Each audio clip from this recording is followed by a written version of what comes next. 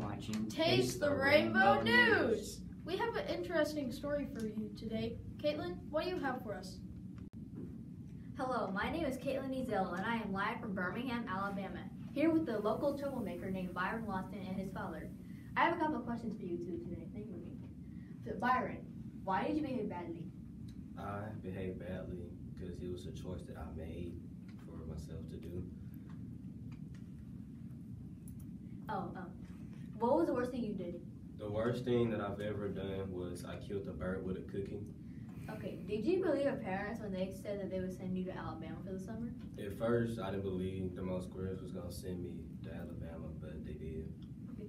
And how did Alabama make you feel? I feel like Alabama changed my life dramatically because it changed the way that I acted and talked to people around me spontaneously. Okay, thank you. Mr. Watson, I have a couple questions for you too. So, how did you punish Byron? I shaved his head once and sent him to Birmingham, Alabama. Okay, how did Byron make you feel as a father? Felt like I did bad parenting and I should have been more stricter on him. Okay, and why did you send him to Alabama? Because Miss Sands, which is his grandma, doesn't put up with bad behavior. Okay, thank you for being with us today. Back, back to Eric and Conrad in the studio.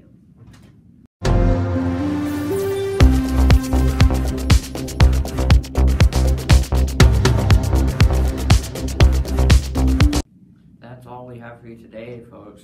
Thank you for watching. Um, we'll see you next time on Taste, Taste the Rainbow News. News.